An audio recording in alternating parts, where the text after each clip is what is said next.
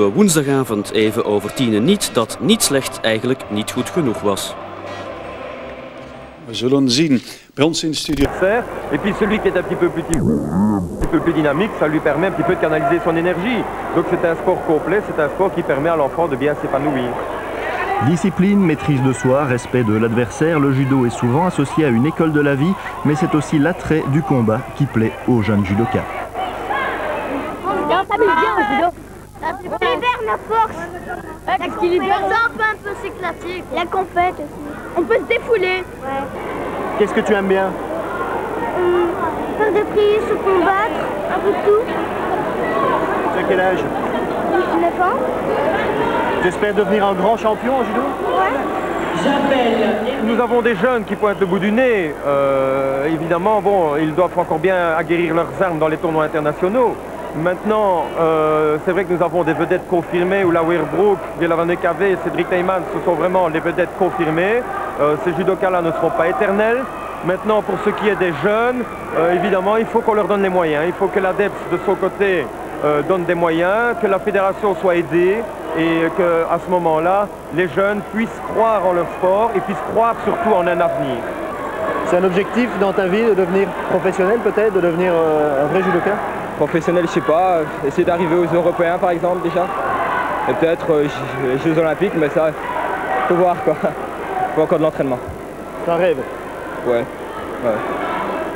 Bonsoir Paul. Bonsoir, bonsoir tout le monde. Vous avez suivi le reste de l'actualité, alors on va commencer tout de ça. suite par la voile et la route du café. La route du café entre euh, Le Havre et Bahia. Et pour l'instant, les navigateurs sont dans une zone très dangereuse qui s'appelle le Pot au Noir. C'est d'ailleurs une course dans son ensemble très dangereuse. Écoutez les propos de Loïc Perron. Il y a des morts partout. Ils sont tous écrasés, euh, déchiquetés, coupés en deux, une aile en moins. euh, c'est affreux. C'est le type qui a des poissons volants. Et donc il ne s'agissait que de poissons. Eric, à présent, euh, les tout derniers points sur cette course. Alain Gauthier et Hélène MacArthur sur Foncia sont en tête. Ils ont choisi de passer à l'est de ce fameux Pot au Noir. Première semaine rapide. hein. On, a, on a bien glissé partout sur l'eau. là. C'est vrai que depuis qu'on est parti, on a rarement été sous les 20 nœuds. Donc c'est assez exceptionnel et assez agréable. Euh, ben, Belgacom était encore premier hier, ce soir il est cinquième. Les deux Bretons à la barre, Nélias et Desjoyaux, misent sur une autre route, cap à l'ouest, plus long mais plus rapide. Objectif être déjà sorti du pot au noir pendant que les autres s'y enlisent. En attendant, Tout marche bien à bord. On a un petit talon d'Achille qu'on connaissait depuis le départ et qu'on a toujours. Donc c'est une réserve de vitesse pour, euh, pour l'année prochaine. Mais autrement, le bateau, il est, euh, on a cassé euh, une poulie depuis le départ. Et il est absolument fonctionnel à 100% dans le même état qu'au qu'au départ. cap sur l'est à présent pour rejoindre les monocoques. Jourdain et Lecléache profitent des alizés et sont en tête de la catégorie monocoque dans laquelle le bateau belge Ecover, un moment leader, se retrouve pour l'instant cinquième. Alors on revient au classement des multicoques. Eric, pour l'instant, il ne faut pas trop s'en faire pour Belgacom car ce ne signifie pas grand-chose ce classement. La flotte s'est étalée d'est en ouest et les, les 12 heures qui viennent eh bien, seront très importantes. On verra si le, le choix tactique de Belgacom portera ses fruits ou non. On les attend, euh, les premiers bateaux, pour le 19 novembre. Coupe du monde de tennis de table, Jean-Michel Save est éliminé, mais dès vendredi déjà. Oui, oui, euh, avant les quarts euh, de finale, mais le vainqueur n'est pas belge, mais il joue, on va le découvrir à la Villette de Charleroi, vous le connaissez bien si vous suivez le tennis de table, il s'agit de Vladimir, Vladimir Samsonov, que voici, qui joue donc à la Villette de Charleroi et qui a battu le numéro 1, Wang Likin, en 4-7. Samsonov remporte la Coupe du Monde pour la deuxième fois de sa carrière. Alors un numéro 10 un peu enveloppé pour suivre, ni qui a toujours été très difficile à tenir. Attention, écoutez-moi cela. Voici Diego Armando Maradona. Nous sommes dans la Bombonera de Buenos Aires, le stade de Boca Junior. Ils sont 50 000 pour l'acclamer une dernière fois. En face, Cantona notamment, et une équipe baptisée les Étoiles. Et puis, 55e but du PIB de Oro, c'est la dernière fois qu'il porte ce numéro 10. La fédération argentine a même demandé à la FIFA que plus aucun joueur argentin ne le porte en sélection, car ce numéro, c'est celui de tous, celui de tout un peuple, mais c'est surtout le sien. Et puis, Australie-France, un but partout, le match de toutes les discussions, les clubs qui ne veulent pas libérer les vedettes, Roger Lemaire qui les réclame, la FIFA qui tranche en faveur de l'équipe nationale, 46 heures aller-retour dans un Boeing 747 spécialement aménagé. Et donc le match nul, mais surtout, surtout Eric, une partie euh, très très très physique et un blessé, Dugarry, qui en a pour euh, au moins trois mois avant de pouvoir rejouer. Merci Paul, nous allons en rester là pour aujourd'hui. On se quitte avec des images de joie. Les Belges ont réussi un exploit à Madrid. Elles ont remporté la Fed Cup. C'est une première. Merci de votre attention. Merci de votre fidélité. Bonne soirée. À très bientôt.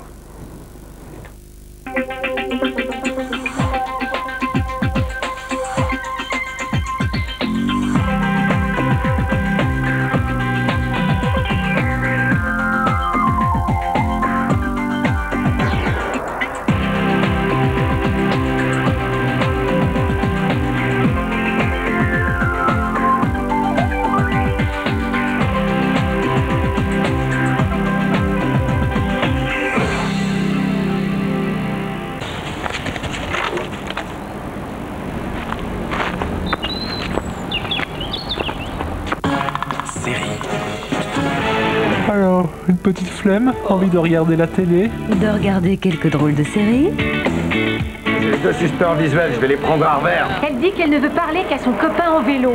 Alors visez juste. Euh, attendez une minute, je vais faire le point. Du lundi au vendredi. Tu vois, j'adore jouer au docteur. Merci Sharon pour tout ce que vous avez fait pour nous, merci. Tu vas voir, c'est un type super. Super, celui qui vous a programmé à partir de 15h40. Quatre séries, Parker Lewis, Drôle de Dame, Pacific Blue et Le Caméléon. Merci la une.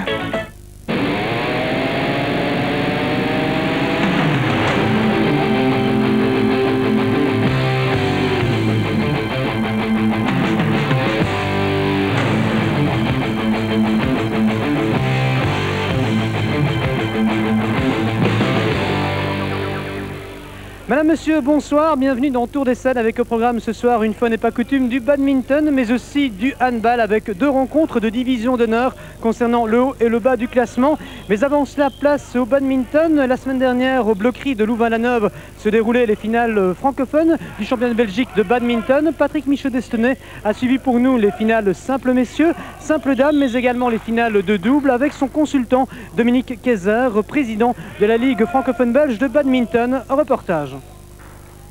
On débute avec le simple dame et en fond de cours Nathalie Servaz, ici à l'avant-plan Sophie Laguesse, un peu un combat de deux générations euh, différentes. Sophie Laguesse qui est originaire de Spa et l'autre joueuse Nathalie Servaz d'Ixelles.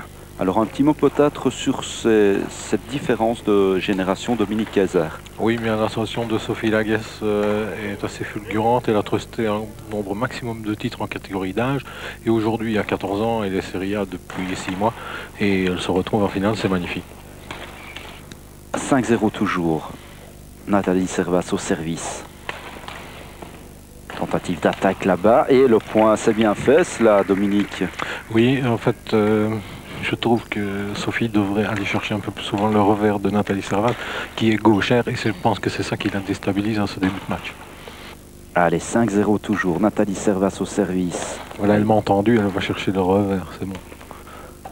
Attention, point, eh bien j'allais dire disputé, malheureusement pour Sophie Laguesse, elle le perd et c'est 6-0 à présent. Je crois que l'intérêt de la joueuse expérimentée qui est Nathalie Servat, c'est de limiter les échanges, sinon elle risque de se fatiguer beaucoup trop. Et ici, elle le fait très bien en faisant des, des échanges les plus courts possibles et en surprenant son adversaire. Balle de 7, l'occasion de conclure pour Nathalie Servas. C'est 6-0.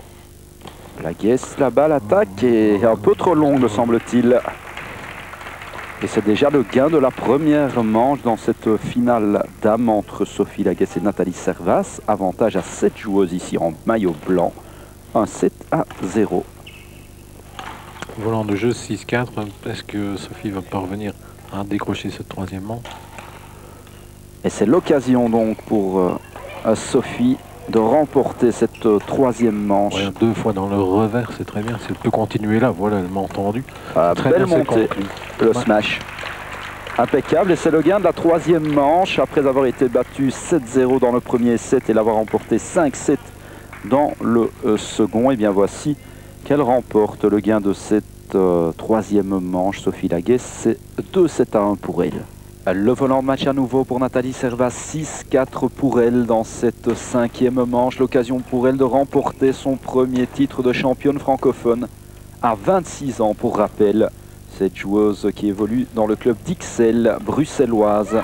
Et bien voilà, elle remporte ce titre de championne francophone face à Lagues en 5 manches. Pour rappel, 7-0, 5-7, 4-7, 7-3 et 7-4. Bah, J'ai commencé assez tard le badminton, vers 14 ans, donc euh, j'avais un petit peu de retard par rapport aux autres et voilà. C'est une belle récompense. oui, je pense, je suis vraiment contente. Alors c'est 6 6 et donc des prolongations dans ce set puisque la paire euh, Koch a décidé d'aller jusqu'à 8. C'est cela Dominique? Tout à fait rattrapé à 6 partout. L'équipe rattrapée choisit ou non de prolonger le set. Et ils sont bien partis dans cette deuxième manche puisqu'ils mènent à présent 7-6. L'occasion pour eux de faire 8-6 et de remporter le deuxième set. Ouais, lé- légèrement de levé, belle attaque de Van Vlanderen. Ça continue, il y a une belle amortie. Oui, le volant est bon. Un superbe échange et le gain de la deuxième manche pour euh, eh bien, la paire désignée favorite avance euh, cette finale de double messieurs et Koch Femme Twin s'envole tout doucettement vers la victoire hein, dans cette rencontre puisqu'il mène déjà 2-7 à 0. Van Vlanderen et Baligan qui étaient distancés à 0-3 ont refait surface, ils mènent 5-3 et maintenant 5-4 puisque Koch et Femme Twin viennent d'inscrire un point mais en fait ils sont toujours devant. L'espoir renaît quelque peu dans leur camp. Ah, là, c'est bien joué, évidemment, toute l'expérience de, de Koch et Femme Twin 5-5. Au service, Van Vlanderen et Baligan, distancés à nouveau 5-6. Belle Un attaque, point. un nouveau smash de Van Vlanderen, c'est bon. Ah, superbe hein, à cet instant de la rencontre, point très important et c'est 6-6. Alors on choisit d'aller jusqu'à 8 à nouveau, comme dans le set précédent. Prolongation, même scénario. L'équipe rejointe, elle a Ah oui, c'est le point là-bas. 7-6 à présent pour Van Vlanderen et Baligan. Voilà un volant de 7 de Là. l'autre côté pour les jeunes. Et la décision reste de mise dans ce troisième set. Scénario à peu près identique à- au set précédent. C'est terminé. Et c'est terminé, balle de match à présent sous nos yeux et, et donc euh, champion euh, francophone pour la sixième fois, Koch et euh, Femme Twain. La finale, messieurs, entre euh, en maillot noir Frédéric Mahoué, le champion francophone en titre, et son dauphin David euh, Jaco. Avantage à Frédéric Mahoué, joueur professionnel depuis deux ans, et c'est lui qui inscrit le premier point dans cette finale, messieurs. 1-0 pour lui. C'est déjà 2-6 dans cette première manche. Mahoué va tenter de récupérer le service et pourquoi pas conclure. Toujours est-il que Jaco attaque là-bas. Belle superbe. attaque. Vraiment, c'est bien fait. Là, il a pris ses responsabilités. Jaco, pour rappel, 272e mondial face au 100 124e joueur mondial Frédéric Mahoué. Peut-être aussi parlant de parler du niveau belge. David Jaco est aujourd'hui sixième belge et Frédéric Ma- Mahoué deuxième. Derrière l'inaccessible Ruth Keuten, c'est ça, Oui, c'est ça. Ruth Kuyten, notre représentant de Sydney. Un petit changement de volant à 3-6 pour Frédéric Mahoué qui pourrait bien empocher le gain de cette première manche. Frédéric Mahoué qui préconise l'attaque directement en servant petit. Ce qui fait faire à David Jaco de nombreuses fautes. Comme ce fut encore le cas sur ce coup-ci, et c'est le gain de la première manche pour Frédéric Mahoué qui s'impose 3-7. Vous le voyez, ce marquoir qui indique 3-4 en faveur de David Jaco, combatif à souhait depuis le début de la rencontre et du deuxième set en particulier. En fait, pour la Ligue francophone, c'est un plaisir d'avoir ces deux joueurs qui sont vraiment ce que l'on souhaite avoir. Très combatifs. Et un nouveau point, Ils s'investissent dans leur sport. Ils font tous les efforts nécessaires pour progresser au meilleur niveau. Ce sont nos locomotives de sport. Et un nouveau point là-bas pour euh, Jaco, 5-3 donc. Il a l'occasion d'inscrire un sixième point. Et il y parvient, c'est bien fait vraiment cela. La manière dont il attaque, il n'hésite pas à prendre sa chance face à un parfois débordé. Et c'est 6-4 pour euh, David Jaco, l'occasion pour lui d'égaliser à un set partout. Ce serait bien évidemment pour le spectacle et le suspense dans cette rencontre. Voilà. Alors le volant est sorti et il empoche cette deuxième manche. Après avoir perdu la première 3-7, eh bien il s'impose 7-4 dans la deuxième, David Jaco. Et c'est tant mieux pour lui, tant mieux pour la suite euh, du match. Maoué reprend l'ascendant sur son adversaire. Il mène 2-5. Très bel échange fond, filet. C'est David qui prend le risque d'attaquer, trop court. Et 6-2, ou plutôt 2-6 pour Frédéric Maoué, qui pourrait bien empocher cette euh, troisième manche.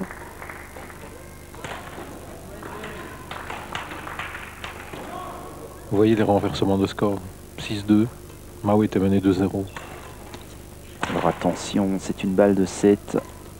De 2-7-1 pour Frédéric Maoué. Très bel échange une nouvelle fois. Frédéric a amené David au filet, croisé. Qui va prendre le risque d'attaquer le premier. Premier retour trop court, c'est David qui perd. Oui, très belle amortie de Frédéric pour terminer ce set un petit peu chanceusement. Le score est serré, 5-4 pour Frédéric Maoué, mais euh, ce dernier maîtrise la situation. Avec ce nouveau point 6-4 et l'occasion de conclure et faire 7-4, ou plutôt 4-7, puisqu'il a déjà remporté 2-7 sur les marques de 3-7 et 2-7, Frédéric Maoué. Voici le conclu à l'instant même. Il a concédé une manche, c'était la deuxième face à David Jaco sur un score de 7-4. Et donc, pour rappel, il s'impose 3-7, 7-4, 2-7 et 4-7. Le voici, le vainqueur de cette édition. Il a essayé de me faire relever, donc il a joué très souvent au filet. Il m'a poussé à jouer des, lifts et euh, il a eu la possibilité d'attaquer, donc c'était très bien pour lui. Il a très très bien joué tactiquement. C'est 1-0 pour Famtoine et Servas dans cette euh, troisième manche. Là, le petit smash. Euh, Nathalie Servaz étant beaucoup plus présente au filet que Karine Bowie, c'est elle qui conclut les points. Et c'est un peu l'expérience qui parle en ce moment du côté de Famtoine et Servas. Vous le disiez, avec des générations qui se succèdent et plutôt de manière satisfaisante dans ce club d'Ixelles. Et là, pour le moment, la jeunesse a un peu de mal face à l'expérience de Famtoine et Servas. Oui. Excellent échange très long. Oh, belle détente de Famtoine qui termine par une amortie. C'était formidable. Impeccable et 3-0 déjà.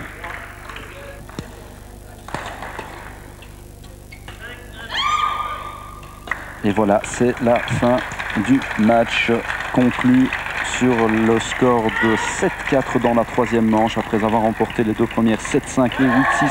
Eh bien, Fam Twain et Nathalie Servas s'imposent. Ils sont champions francophones de la catégorie double mixte. Euh, le fait d'avoir changé euh, les 7 en 7 points, c'est très très dur mentalement et euh, nos adversaires étaient déjà fort éprouvés mentalement et c'est surtout ça qui a joué je pense. Handball à présent, en match avancé de la 7 journée de championnat de division d'honneur, les deux meilleures formations belges actuelles se rencontraient ce jeudi à Einaten. Les germanophones recevaient les Limbourgeois de Nerpelt avec comme enjeu la première place du classement général. Au commentaire, on retrouve Patrick Michaud d'Estenay. Le coup d'envoi donné par messieurs Roskamp et Rothkrantz, l'équipe du HC Einaten maillot rouge et noir face à la défense campinoise de Nerpelt. C'est la première offensive dans cette rencontre. Les deux équipes sont pratiquement au grand complet, mais une absence ou plutôt un joueur sur le banc. Il est important du côté campinois, c'est le gardien Ralph Bismans qui est blessé au dos et Jos Kouterdon a préféré le laisser sur le banc, du moins en début de rencontre. Premier coup obtenu par les joueurs de Nerpet avec Simon Dobrzinski à la manœuvre en position de demi-centre. Et une première faute est obtenue là-bas dans la défense. Faute commise par Jan Streiker et Rudolf Tankovic sur l'un des joueurs arrière de Nerpelt. C'est l'occasion d'ouvrir le score pour les Campinois dirigés par Jos Kouterdon, je vous le disais. Et c'est Simon Dobrzinski, l'un des meilleurs réalisateurs du championnat, qui va tenter de déflorer la marque. Il a déjà inscrit 42 buts depuis le début du championnat. C'est lui qui s'élance face à Gerrit Stavast. Le tir, la petite feinte et le but. Ouverture du score par Simon Dorzinski. Nerpelt mène 0-1. Deux minutes de jeu, l'occasion d'égaliser pour Enaten suite à ce coup franc obtenu par les joueurs de Willem Riedbroek. Excellente assiste distillée là-bas par le Macédonien Kirchstev vers le pivot Jan Strijkers. Et c'est l'égalisation à un but partout, but de ce joueur au dossard numéro 8, ancien joueur du HCR Stal Hans. Jan Strijkers. Rudolf Tankovic qui cède là-bas à paire de balles. Récupération campinoise avec Lenders, l'un des meilleurs scoreurs du championnat, avec Simon Dobrzinski et Rudolf Tonkovic. C'est ni plus ni moins que le top 3 des buteurs actuels du championnat. Récupération défense, là-bas, Deinaten et qui va battre là-bas aux avant-postes. Le gardien Lunders battu sur cette euh, tentative du Macédonien Kirchdev. C'est deux buts partout. Et bien on va voir comment Nerpelt va réagir. Mené à la marque pour la première fois de la soirée. Tir de Dobzinski repoussé par Kerit Stavast. Dobrinski remonté au jeu après ses 120 secondes d'exclusion temporaire. Tonkovic qui s'infiltre là-bas sur la gauche. Quel geste technique magnifique. Et les deux défenseurs de Nerpelt grillés. Kurt van de Weyer et Eusen impuissants sur cet euh, effort solitaire de Tonkovic. 6-4 et c'est son troisième goal déjà. 20 minutes de jeu, Einaten insiste avec le Polonais Krishkov. Et le tir et le but. Imparable pour le gardien Kurt Lunders, battu pour la dixième fois de la soirée. C'est 17. Eric Osen vient de remonter au jeu du côté de Nerpelt pour tenter d'alimenter la marque. 4 buts d'avance toujours pour les germanophones. Bartenders le tir et le but. Impeccable, le ballon qui file entre les jambes de Gerrit Stavast. C'est le quatrième goal inscrit par Lenders qui réduit la marque à 12 buts à 9. Moudir sur la gauche et Lenders et Rikeusen, le tir de Zen repoussé par Stavast. Évidemment, ils se connaissent parfaitement ces deux joueurs et c'est Stavast qui a eu le dernier mot sur ce tir de Zen. Et de l'autre côté un décalage et belle parade vraiment à mettre à l'actif de Kurt Lunders qui écarte le danger sur cette phase de jeu. Vous le voyez, bientôt 3 minutes de jeu dans cette deuxième période. Les 5 buts d'écart subsistent en faveur des germanophones d'Einaten qui tiennent véritablement le bon bout dans cette partie. Zbigniew Krishkov s'est mis en évidence avant maintenant, sous vos yeux, Rudolf Tonkovic. C'est déjà son cinquième goal au joueur croate d'Einaten. 17 buts à 11 et c'est la première fois qu'Einaten possède 6 buts d'avance. Le ballon sur la droite avec Van de Weyer. Graf, Eusen, Dobrzinski, retour à Eusen. Euh, la petite passe dans le dos et le but de Van de Weyer. Auteur d'un deuxième goal dans cette deuxième mi-temps, fort joli ma foi. Il permet à Nerpelt de revenir à 18-13. Et les supporters d'Einaten qui se font entendre de plus belle pour supporter les leurs avec Kirchdev. Faute offensive commise par ce dernier. C'est la décision de messieurs Roskamp et Rotkranz. Eusen, nouveau tir, nouveau but. Quel festival dont il nous gratifie ce joueur incroyable face à ses anciennes couleurs. Et c'est 20-19. Einaten qui ne mène plus que par un but d'avance, rendez-vous compte, alors qu'il menait encore de 6 unités. Voici un quart d'heure de cela. Et attention, jeu passif qui pourrait être sifflé. Heureusement, Tonkovic est là pour alimenter le marquoir. On retrouve deux buts d'avance à la plus grande joie des supporters d'Einaten, c'est 21-19. Kurt Lunders qui n'aura jamais démérité tout au long de cette partie, même s'il possède moins d'expérience que Raf Bisman, ça c'est certain au moment où Tonkovic inscrit son huitième goal de la soirée et restera, c'est une évidence, en tête du classement des buteurs à l'issue de cette septième journée de championnat. 27-22. Un décalage vers Moudir. Stavat sur la trajectoire, le contre qui s'ensuit avec Krishkov à la conclusion. Le 28e but d'Einaten à l'instant même. 28-22. Et c'est le septième goal de Krishkov comme à ses plus beaux jours. 28-22 pour le plus grand plaisir des supporters germanophones. Eusen, attention à la paire de balles.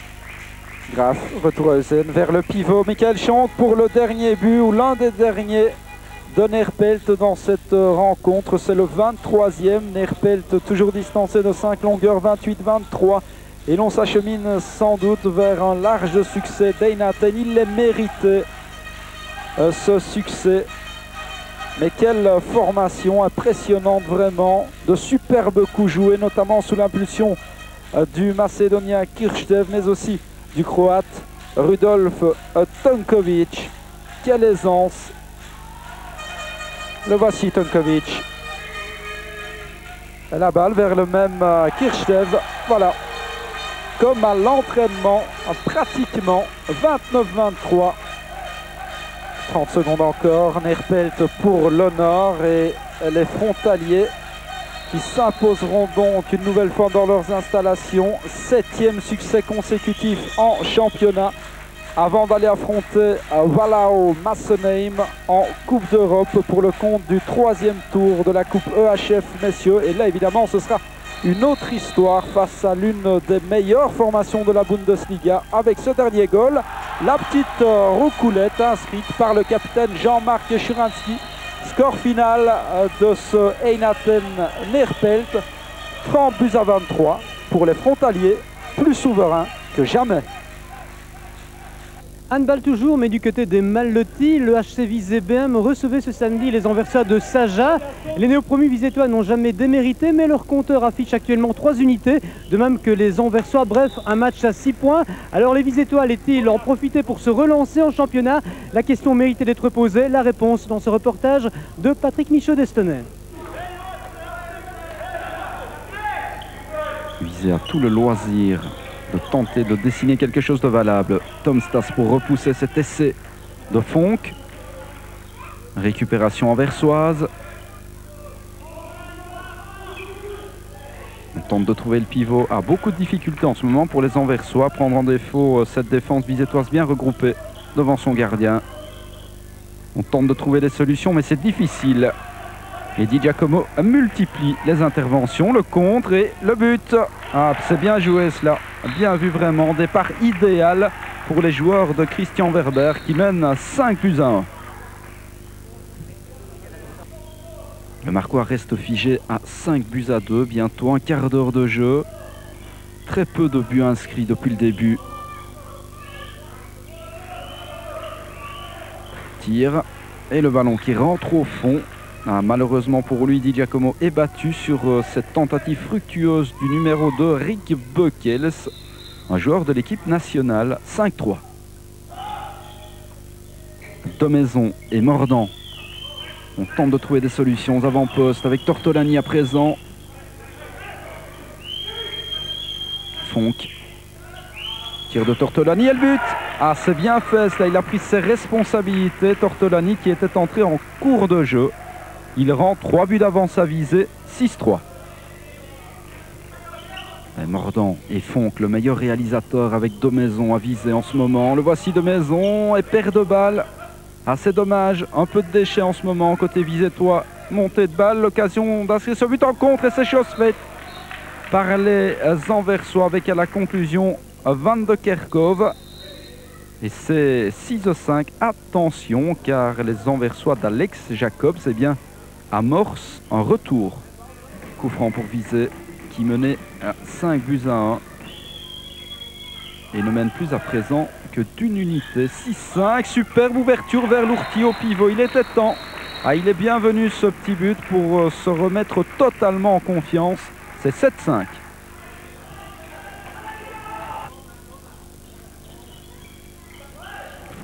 Qui décale parfaitement de maison. La petite passe vers le pivot, mais quel mouvement excellent vraiment. Et à la conclusion, Michael Lourti pour son euh, deuxième euh, but. Et l'on revoit cette combinaison parfaite entre les joueurs visétois. C'est 9-6.